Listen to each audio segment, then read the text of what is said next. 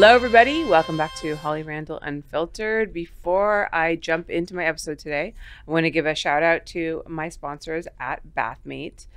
Now, listen up, everybody with a penis, which statistically is 96% of you. Uh, now, penis pumps may sound like a funny concept, but they are actually a great tool to get harder erections and have more intense orgasms. Bathmate is the world's best selling penis pump, and it uses the power of water to drain blood safely into your penis, which is way more comfortable than using typical air pumps. And right now, Bathmate is offering our listeners 10% off of their order when you go to bathmatedirect.com slash holly. That's Bathmate Direct, B-A-T-H-M-A-T-E, direct.com slash holly to get 10% off of your first order. Okay, my guest today is somebody that you guys have been asking me for a long time. She drove all the way from Vegas to be here today. Uh, she's been in the industry for almost two decades. She's a multi AVN nominated MILF performer with an amazing ass who is not afraid to give her opinions on anything and everything.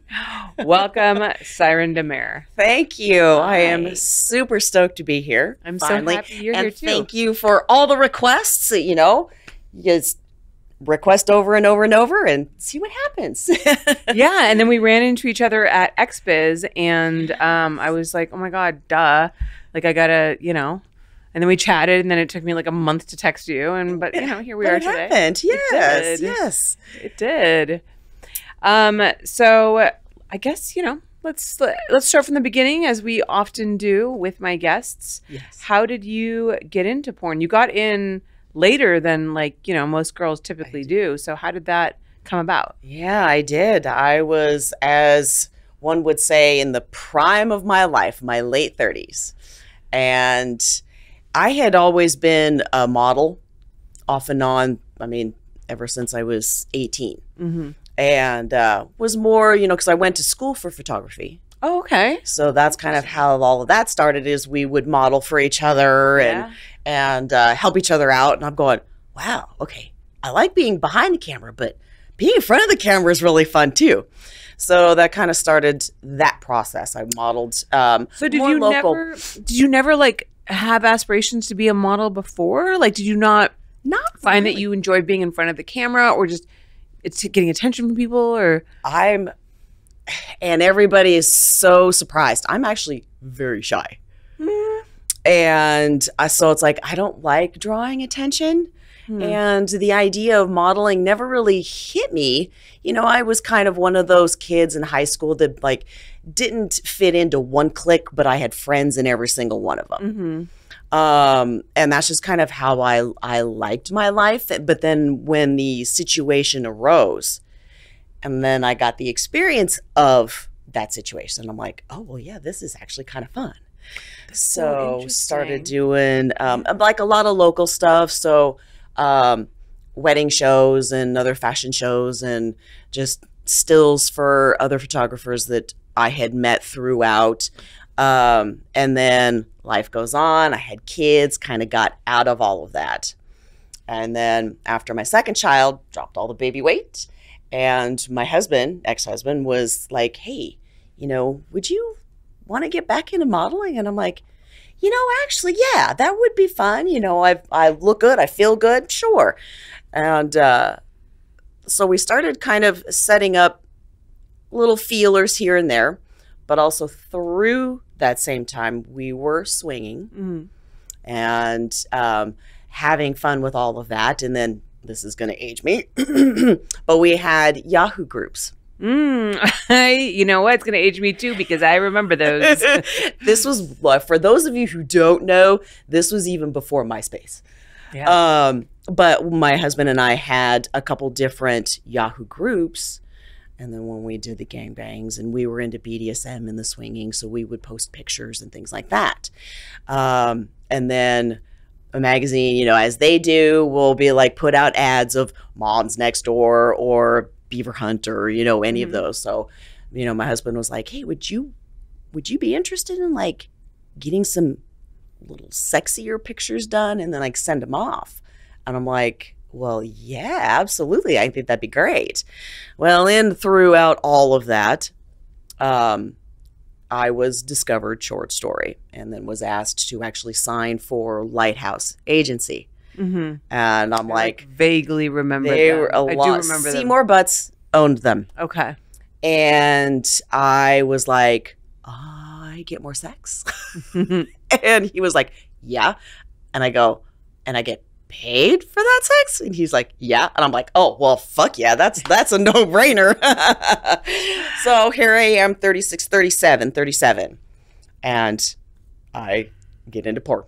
wow. Wow. That's so funny. It's interesting how your story like parallels mine, but the opposite. So I actually grew up wanting to be a model.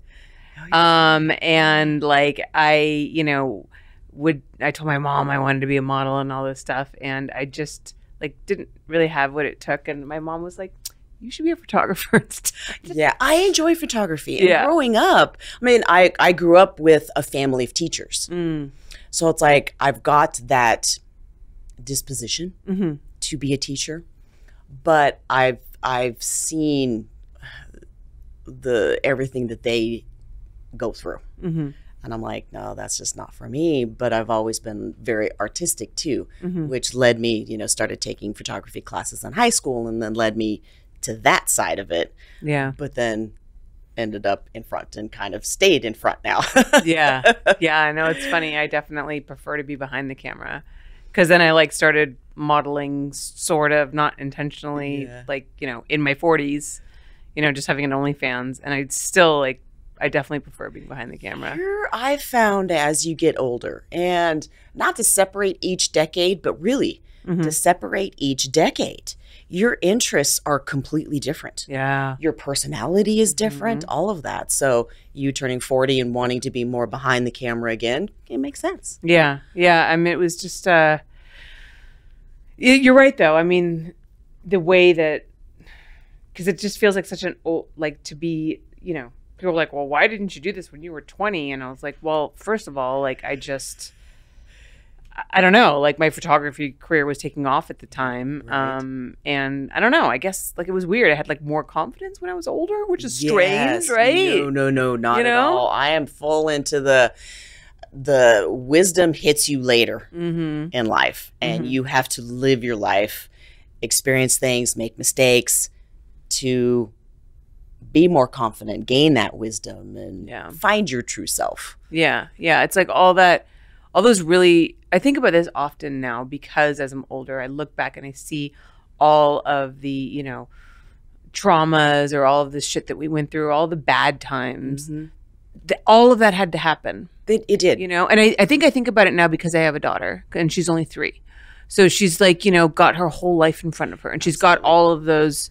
Those trials and tribulations and all of those Still. terrible moments, unfortunately, ahead of her, right? yep and I have to like let go and let her have her own experience, and I can't It's micromanage her life because she has to have those things happen yes to make her into whoever she's going to be one day. yes And so it's just, but you know, reflecting back on like those moments where you're like, why did this have to happen to me? And my life sucks, and I oh, wish yeah. I wasn't going through this. Like they end up being these like little like moments of, you know, these these moments you had to have. Like they, they end up being um, what is the word I'm looking for?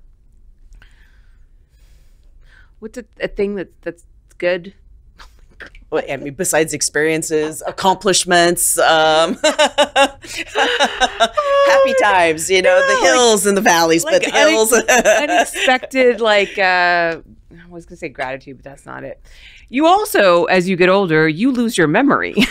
you do. that also happens. and and, your train of thought. and each time you get pregnant, it gets worse. Oh my god. That whole thing about like dropping things all the time when you're pregnant is so true. Absolutely. I dropped everything. Absolutely. It was so weird. I was like yes. tripping over stuff.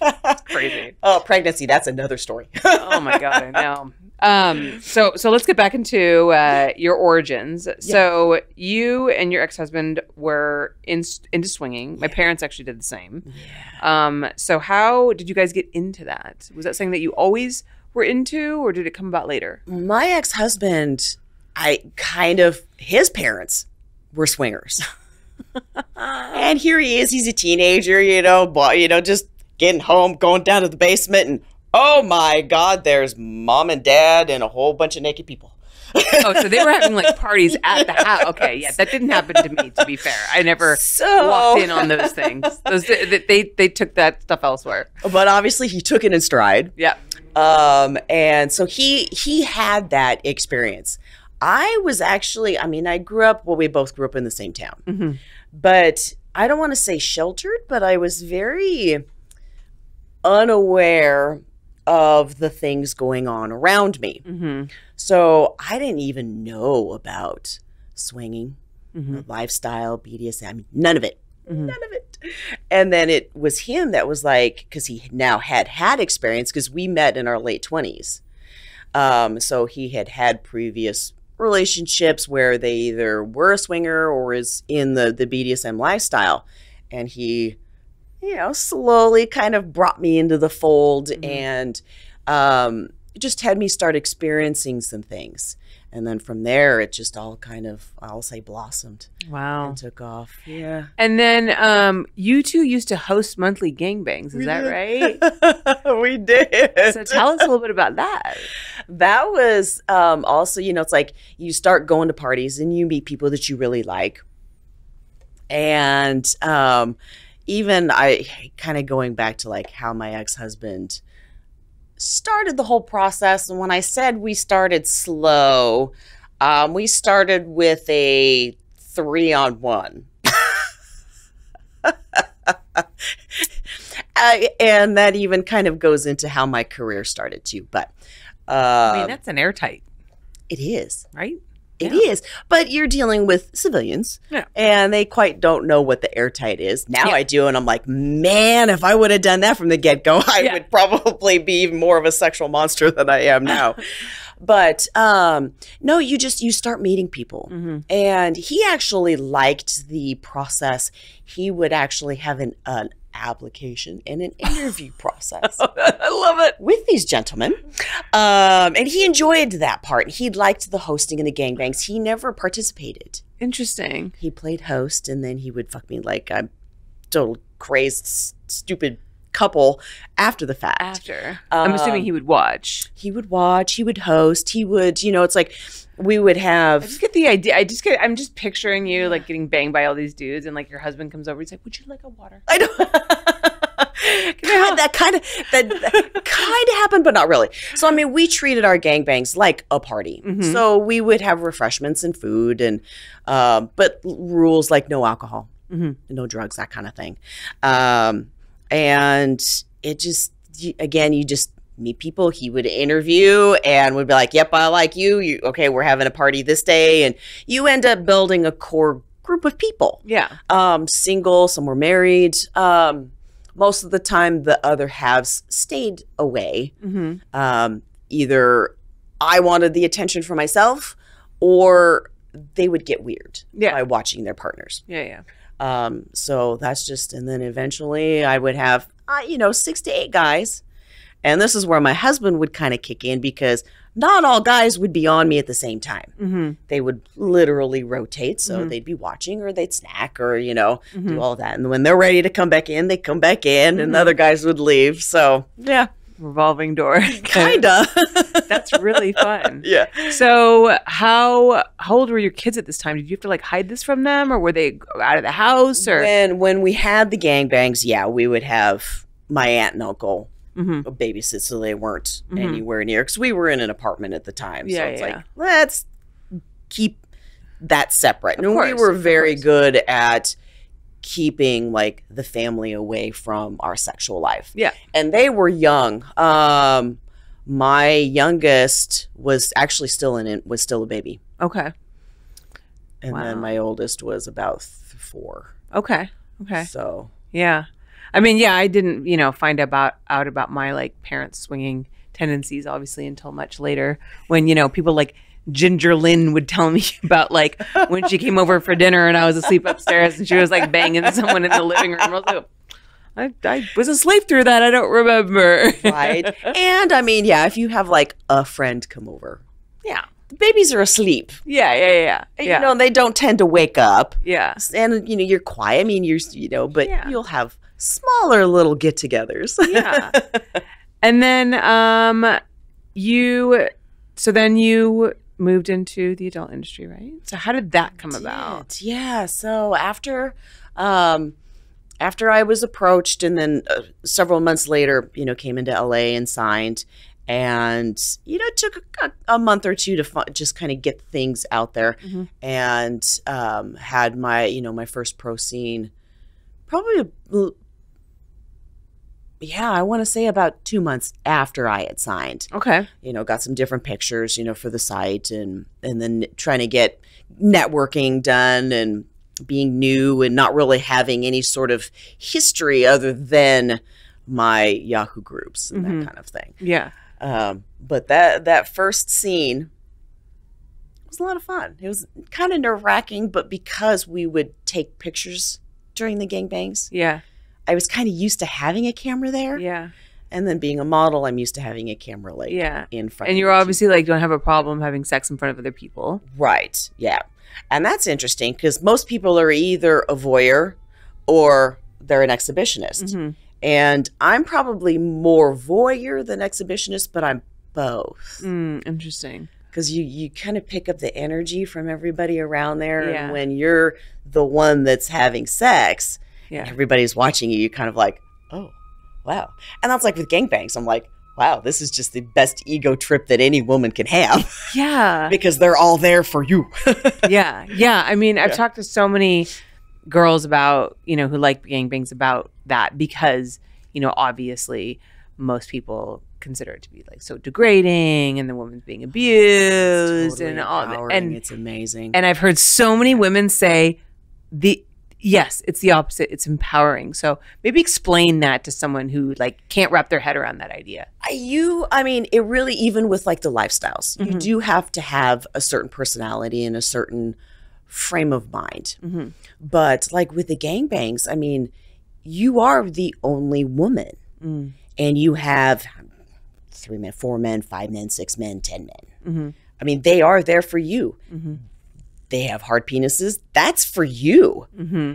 And you just got to, you know, you take that as a compliment. Mm-hmm. it's not degrading because they're very respectful they're very responsible they i have never had a situation where they've treated me poorly i mean out of any of them my civilian gangbangs work gangbangs they've all been just amazing people and you just you go with it and you i'm an energy vibe person anyway and you just have fun with it and everybody's laughing and having a great time and and go with that. It isn't negative. It's all positive. It's all affirming. It's great. It's it. I mean, I just can't say enough about the gangbangs. Yeah. Um, I've only worked on three gangbangs in my life. Uh, each one of them, I was hired by the female talent in the scene because she was shooting it for her own production. Mhm. So the first one was Joanna Angel, but I only did the pictures. Mike Quasar uh, shot the video. And then the second one was Riley Reid. oh yes, And then the third one was Lisa Ann. oh yes, Like all very like powerful women, right? You know, yes. business like entrepreneurial, and and they set it up. They picked the guys. Like it was their production. They wrote the checks at the end of the day. You know, which like I, I kind of love that Good whole, on them you for know, that like, too. Yes, You know, all these guys are like they bang them, and at the end of the day, Lisa's like, "Here you go, thanks you for go." your penis. Here you go, here you Yeah. go." You know what I mean? Yes. Like, kind of flips the script on what most people think that's like. And they were like so much fun because first of all, like I love men yeah, and I'm very comfortable being in like a large group of men. Like I'm, I'm actually, I think in my career because I've been behind the scenes in the adult industry for so long. Right. There's not a lot of women in that position, especially when I started. Like I'm used to being surrounded by men, and I'm totally like fine with it. And yeah, I know I really enjoyed it, and it's, it's funny because it's like the off and the on of the scene, right? When it's on, everybody's focusing. The guys are like, you know, you know. Fucking the girl hard, slapping her tits, and like, like that. Right, right. And then it's like break, and then like everyone's laughing and like talking about the baseball game, and it's just like you know what I mean. It's like a party. It's like, it is. but it is Yeah, a lot. really They're is. actually like a lot of fun. Like I had a blast. yeah, and I kind of wonder because you mentioned comfortability. hmm you know if is that part of the reason why some of the women think it's negative or degrading Oh, is they're just 100%. not comfortable in that group setting Yeah, they're better with the monogamy and the one-on-one Right. which is fine Yeah, I think um, everybody projects their own experience onto other people's experiences, Absolutely. right? Absolutely. Like we view everything through the lens of our own experience, and I Mhm. think this is where you get a lot of that that negative feedback on porn because people will see these things that other people do and think Right. I could never do that. Right. I would feel degraded if I was in the middle of that. So therefore because I feel that way, that person must feel Mhm. the same way as I feel because my feelings are the only feelings that I know. I can't Yes. comprehend feeling that way, so there must be someone Yeah. wrong with that person. Where it's just like, could we accept that people are different? They have different needs and wants and desires, and like, is it okay? Like, could we be okay with other what other people want to do with their own bodies? Right.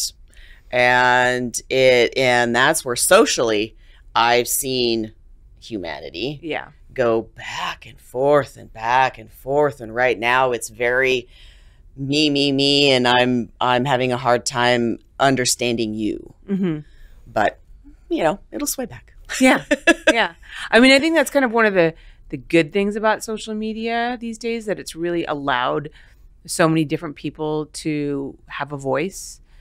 But it's also been bad because it's allowed so many different people to have a voice. You know what I mean? Yeah. It's like it goes Yeah. both ways. Like Yeah. on one hand, I think that it's made for a possibly maybe I'm being optimistic, but like a more understanding world in terms of like the younger generation and seeing like things Tolerance from other people, tolerance. what I'm seeing. But then- the younger kids. Yes, but then I've also seen, and maybe this is more. It'd be interesting to know whether or not this is an older demographic. It's either like more tolerance or polarization, right? It's like one of the two. And that is true It's like because I have both. I have seen both, and Yeah. it's not generational. Yeah, Um, it it really it probably just stems with your personality, how you were raised, hmm how your parents were. Um, I you know there is something to say about nature, but nurture does play a lot in who we become as an adult. and I think also too your life experiences and do you get out of your own bubble? Yeah. Because I think a lot of these people, you know, live in their own echo chamber. Mm-hmm. right? And they don't travel and they don't see how other Yeah. people live and they don't listen to how other people live and they only associate and talk to people who like feed, you know, back into what their beliefs are and it just Mm-hmm. creates this feedback loop. Yeah. Um, I think, you know, that's probably that's why a lot of coastal cities tend to be more cosmopolitan, tend to be more liberal. Yes. Because you're getting people from other countries To come in. coming and, in yeah. and there's more like exchange of ideas and that kind of yeah. Yeah. And I think that's where like the internet has probably hurt us Mm, socially yeah. because we're we're so used to our phones. hmm we're so used to our computers and and that's how we chat which Mm-hmm. on the other side is great because now we can chat with people that are clear across the world hmm that we couldn't but i'm afraid that it's now lessening the actual connection the the the person face to face contact. And also, too, well, on that end, yes, because when you try to argue with someone on Twitter and it's just a text back and forth, you miss the tone, you do. You miss the humanity behind Absolutely. that voice. yep. You miss that, you know, having a face to face conversation with somebody about something yeah. is so different than even like, I mean, you know, we've all had that experience where like someone sends us a text and we misread it. absolutely. We read it in a different way. Absolutely, They didn't intend. yep. Because we're like we're projecting our own voices onto it as opposed to then and then they call us and they're like no this is what i meant. And you're like oh okay. Yeah. And now it sounds different. Yeah. Um and i think also too with social media the problem is is you know we get stuck in these algorithms right so first of all we only, we generally only follow the people who believe what we believe Mhm. um but also like the algorithms pick up on that like youtube's very guilty of this and it feeds us the videos oh the youtube rabbit hole yes exactly yes. did you see that documentary I haven't, but I'm going to have to, but because it is so true. Yeah, and it feeds us the Yeah. things that we watch, so we become all. Then all we see is all the things that we believe in. We're not open to other Yeah. ideas and other perspectives, Yeah. and it just and that's how you know people get like radicalized. I'm so happy with the invention of the emojis because I'm I'm very straightforward and maybe a little too blunt sometimes. Um and so it's like now I always make sure okay, let's make, you know, let's put this little emoji so it puts in like my emotion Yeah. So there aren't any miscommunications or misreadings. So It's so true because I'm the same. I'm often busy and I'm in, I'm in between doing a lot of things. Yeah. So I'll I often voice text too, and I'm like, yeah, I can't make it, and it's not like I can't make it, motherfucker. It's like I'm so sorry, I can't Yeah. make it, but like I don't have the time to write. I'm so sorry. right. Or you know, like I can't write. I don't have time to write this whole like Yeah. lovely thing. So I'm like, if I don't put in the little like tongue out emoji, they're gonna think I'm mad or an exclamation point Yep. at the end. Like when you respond to someone and say sure, if you just write sure with no How do you know punctuation, how- yes. it, it sounds like a sure. Uh-huh. But if I write back sure with an exclamation point, it's like sure. And see, I do exclamation points now You know? more than any other punctuation. It's like either no punctuation at all or the exclamation point and a big smile emoji. It's just like it's just like these little nuances of human communication. Yeah. It's just bizarre. Um anyways, well I know we, we of- sidetracked. we did sidetrack. Uh, we're gonna track sidetrack now into Yes. a commercial break, and then we're gonna come back on track afterwards. so stick around, guys. We'll be right back. Hey there, listeners. It's Holly Randall here. As a director in the adult industry, I know a thing or two about what makes a performance unforgettable. And let me tell you, confidence and stamina are key. That's why I'm so excited to introduce you to Blue Chew. Blue Chew brings you the first chewable with the same FDA approved active ingredients as Viagra and Cialis, so you know they work. Whether you're looking to enhance your performance or just add a little extra spice to your love life, Blue Chew has got you covered. But what I love about Blue Chew is how easy it is to get started. You sign up at bluechew.com, consult with one of their licensed medical providers, and once approved, you receive your prescription within days. It's all done online, so there's no awkward visits to the doctor or waiting in line at the pharmacy. Plus, Blue Chew is chewable, which means that it works fast. You can be ready whenever the moment strikes. And trust me, your partner will notice the difference. So, if you want to bring your A game to the bedroom, head over to bluechew.com and use promo code HOLLY to get your first month for free. You only pay $5 for shipping.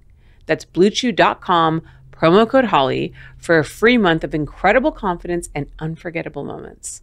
Remember, Blue Chew is here to help you perform your best when it matters the most. Give it a try and thank me later.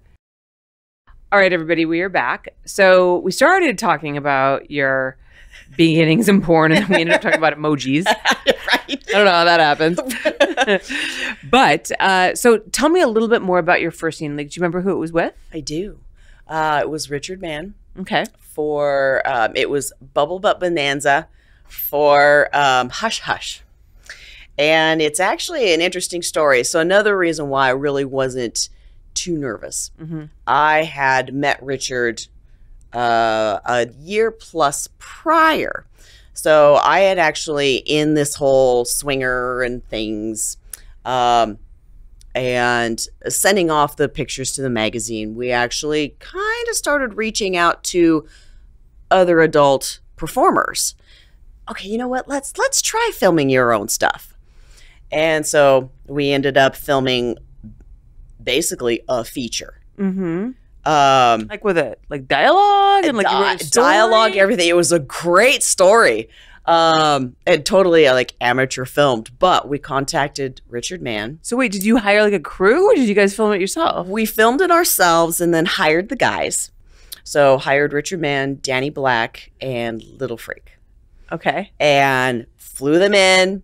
Kind of, you know, set them up in a hotel, and it was like a three day. It was a three day shoot. Lots of dialogue. There was um, the three boy girls, and then there was a, a three on one. hmm uh, finale, I guess you Mhm. could say. Well, since I had already filmed with Richard, technically, being on uh, on set with him for my first pro scene was probably maybe the best way I could get into it because I already knew him. Yeah. I already knew his personality. I already knew how big his cock was. Yeah. and to have my first scene, an anal IR scene, Wow, that was your first scene. I- Damn. yeah, You yeah, but I, I had already. it. I mean, I had already fucked. I mean, Danny's black. You know, little freaks black. I just know, mean, so- I just mean anal. Oh, the anal. Yeah. Well, I had been doing anal through the. I, the- I- the- you know, I forget you were, the you were a swingers. pro already. What am I saying? but I was a late bloomer for my whole anal thing. But Yeah. um, but no, the first the first scene went. It was so much fun, and you know, I just and it's like yes, you always remember your first scene, Mm-hmm. but you know when you've got someone like Richard, he's such a down to earth, just really cool dude, and Mm-hmm. it just kind of our friendship. We we had that friendship, kept in contact, and it was just like two friends getting together, and you know memories took in, it took over, and Yeah. we just yeah. like riding a bike. yes. So then, how did your career trajectory continue after that? After that, um, because I it it stayed actually even to this day very consistent.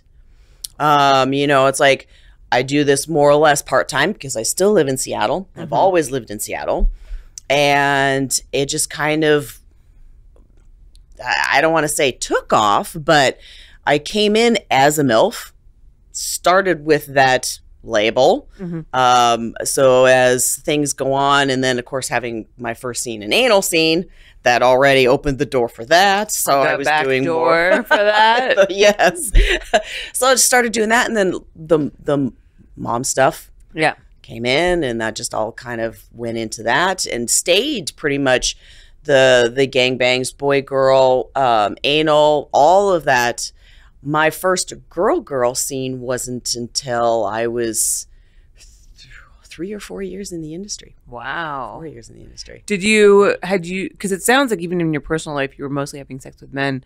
Did you like women at all or I considered myself maybe bi curious. Okay. So did you know my first uh, experience with a woman? I was actually in my my early twenties. I was twenty one, mm-hmm. and uh, that was a lot of fun, Mhm. and I en- I enjoyed her. Mhm. Um, enjoyed my time and everything. We were actually coworkers. Um, but isn't that how we meet? Like most of our friends Yeah. and partners Yeah, is, yeah, is through work, and, uh, and then just life situations.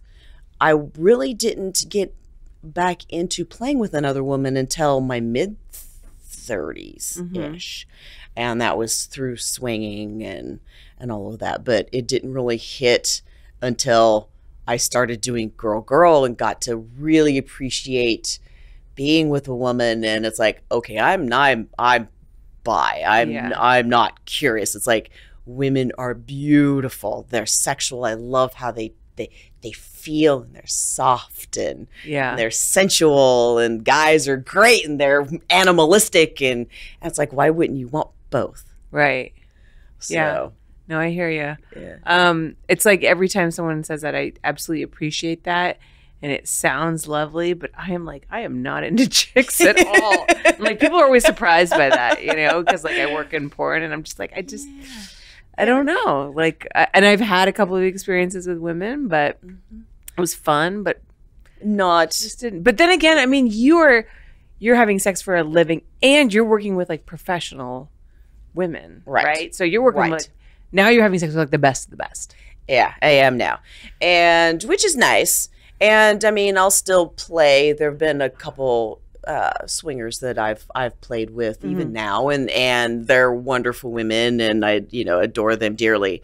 Um but the industry has definitely been good for the best of the best. Mm-hmm. Um I've met uh, my partners now Mm-hmm. through the industry, kind of sort of. Okay. So So how did so how did that happen? um, well, I've when I divorced, um, had met a gentleman that was kind of a an how do I explain it? He was a swinger, Mm-hmm. but was also on set as extra. Okay. So he was kind of an in between semi pro kind of guy. But anyway, um, and so that's how I met him. So And he was an extra, a non-sex extra on a porn set. both uh, for kink.com. Oh, okay. And because they would they would have like their upper floor parties for members and things like that. So he would be a tested a tested extra. Right. Gotcha. Um, and so that was like him. And then as things go on, I start, I meet Dee Williams Mm-hmm. also through kink.com. we had a scene together, and then the very like that right after the scene, she was like, "Do you want to go out with me?" and I'm and this was kind of in like my beginnings of really embracing my bisexuality. hmm And I'm like, yeah, because we had just an out of this world scene. Um, we actually have a story that's titled "Love at First Fist." um, so, but that's that's a story for another day. That's that's a very it's a it's a cute story, but a long story. Um, and we've been together ever since, and we're heading on to like nine years together. wow. So you guys are actually a couple. We are. Well, a thruple, I guess, right? Kinda. have another Quite- yeah, well, and it's yeah, and this is where I've I've found poly or polyamory Mhm. um, that oh my god, that's me. That's that's like that's me, you know. And um, with the swinger background and you know the my previous partner being a swinger and and doing all of that, and meeting Dean, she's poly and she's married now, and then I had you know my one boyfriend and then with sometimes we would play together and sometimes it's separate so it's it's an interesting poly dynamic so we Mhm. don't all live together but we the love is there the feelings are there Right. and then um and then i met my current man who was also kind of sort of through the industry but not so basically i was flying to my one but this is going to be so confusing i'm sorry guys um flying to go see my one boyfriend in san francisco hmm and my current was on that same flight Mm. so I kind of met him in through around about six degrees of separation, I guess, through the industry. Oh wow. Interesting. So it's kind of complicated, I guess. So how does your thruple relationship work then? Or is it you and Dee are a thing and then you and your current partner are a thing? Do you mix them together or Dee and him dating on their own? Like, you know what I'm saying? Like cuz I know everybody has different rules. Right, right. So Dee and I are a couple. Mhm. And then I do have a relationship with her husband, Matt. Okay. Um, so there's, so it's like we, the three of us will play. Mhm. She will go out of town or work, and then I'll, I'll go and keep him company. Mhm. So we do things together, Mhm. um, play. So we're kind of a couple together. Mhm. And then my partner will, like, when he's, so he and I are close. He is also poly. So he's had other relationships and other partners alongside, but separate. Mhm. So when it comes to Dee and I, he'll come play with us or the three of us. Mhm. So Dee, I, and Matt. Okay. And then But he wouldn't go and play with Dee without you there generally. hasn't yet. Okay. It's kind of like I mean, you know, it's funny. I'm asking for you to like explain this dynamic, but as I'm listening to you talk, it makes you realize it's really just like how groups of friends work, right? Absolutely. Like you have your groups of friends, and then you introduce like two people, and they really get along, and then Yeah. like the three of you start hanging out, Yes. and like your two friends that you introduced like might hang out without you at some point, but like. Mhm. Who you know what I mean? Like who knows? But it's always like because we include sex in this, we get caught up on those details, I guess. A little bit, a little bit. Sex, I mean, sex can confuse things, it can gray things, but it also can make things a little simpler Mm. and a little more dynamic and and special. One thing that I've heard from other people who are in poly relationships is that one of the most rewarding things about it is that you're not putting all of the pressure on one partner to be everything to you, right? Right. Like that kind of that can be shared and spread among multiple people because it is a lot I think to ask. And and I'm in a monogamous relationship and we're very happy with that. Um, but I, I think I've realized this just in terms of like, you know, my relationship with him and then like friends and other people in my life that, you know, a lot of times we think that our partner has to be everything to us, right? They have to like be our protector and like, you know, our emotional support and, you know, our intimate partner and like, you know, just everything. And Mhm.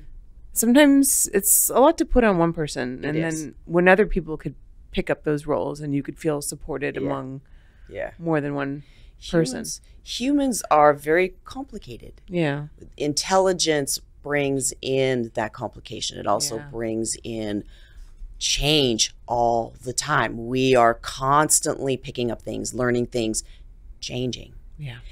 And it makes it hard to find that one person to be the 100%. Mhm. And it's difficult for both sides. So it's a lot of pressure on your partner and then also on you because you have your expectations but then they don't know they can't always live up to it so yeah, it's like my happiest time of my life is bringing in these other people because these other people fill the void that the main partner isn't able to do. Yeah. Yeah. Yeah. Gotcha. So, um, you are, as you've mentioned, a, a, a MILF in the industry. What makes a good MILF in your opinion? you know, I would say someone that is true to themselves Mm. that knows themselves. Mhm. Um, and you know, going back, it takes a long time to like really figure out who you are. Um, 20s are great. It's full of of trials and tribulations and experimentation, but I feel that you really don't find yourself until a little later in life when you get into that MILF status, I Mhm. guess. So MILFs are generally very confident, they're independent, very sexual. They enjoy sex for sex. hmm Um, they know how to make the situations even better.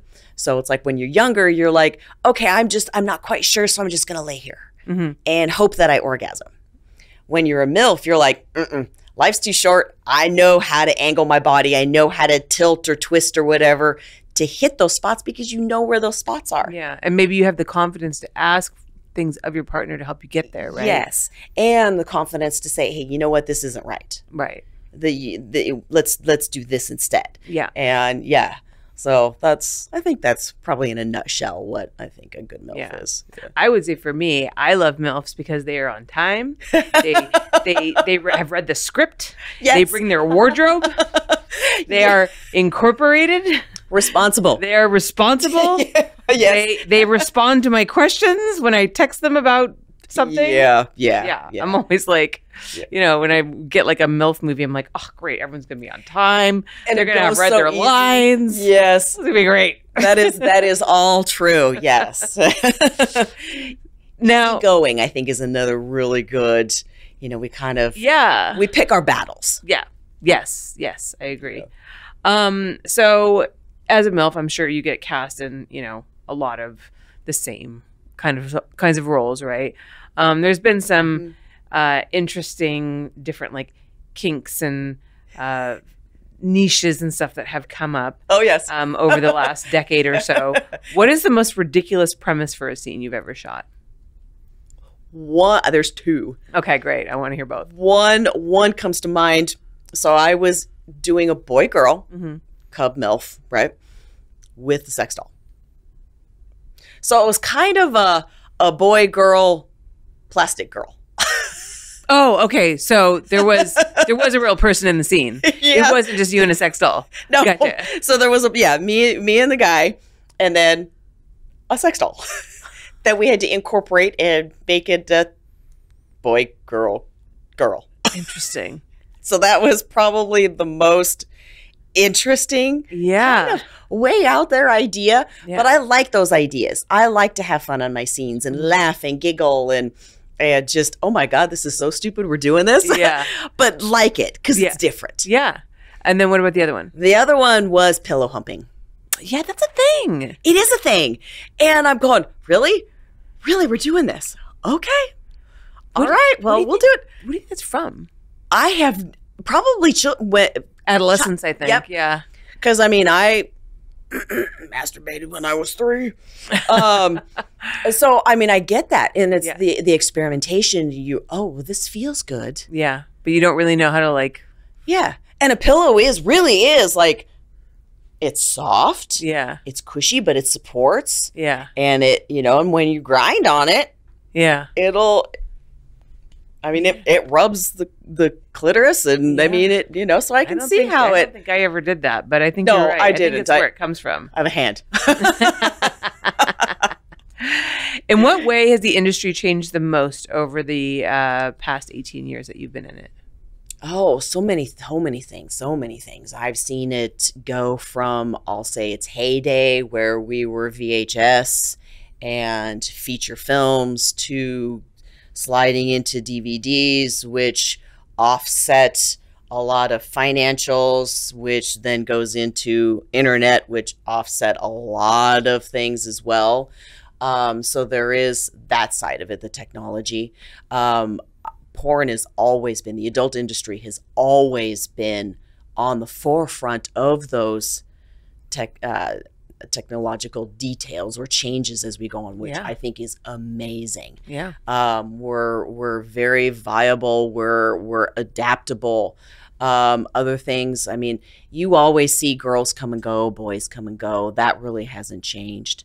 Um, I have seen the industry go from still professional, but maybe not completely professional. Hmm Um, a lot more easygoing on sets to strictly professional on how we are right now. hmm And would you say that that is better? Like, do you think that we're in like the best like time in porn right now? We are in that road to it. Mm.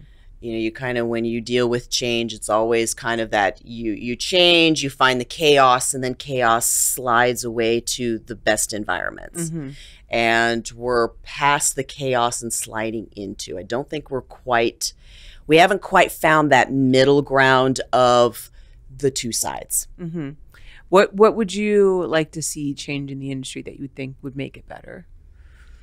Um, we've we've kind of gotten into, and this is going to sound bad, but into a selfish state. hmm Um, it is. It's kind of kind of what I said earlier about it's all about me, me, me. hmm Um, the lack of respect to others. hmm Um, I'm seeing is kind of hurting us, and I would like to have that come back hmm um, you know it's like it's not it's not all- about you. I mean we are a smaller industry but there are many other people around you that your actions can affect them hmm one way or the other. So once we kind of spread our bubble out again i think it'll be a little bit better. I love the professionalism. I think that's that's great. Hmm um, just temper it a little bit to where we don't feel like we're walking on eggshells all I- the time. Okay, I know what you mean. You feel like, and and I think I I understand. Like s- some people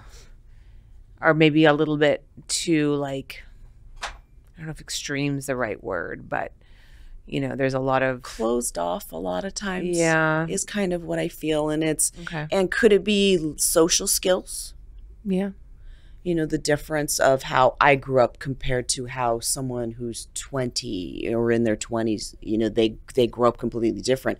Our worlds are completely different. Mm-hmm. Things are so much scarier nowadays Mhm. um, that you know it's it's hard to like branch out. I understand that. Yeah. Uh, my last question for you is on the XBIZ Res. Okay, we're gonna cut. the XBIZ red gonna carpet. Cut. Start again.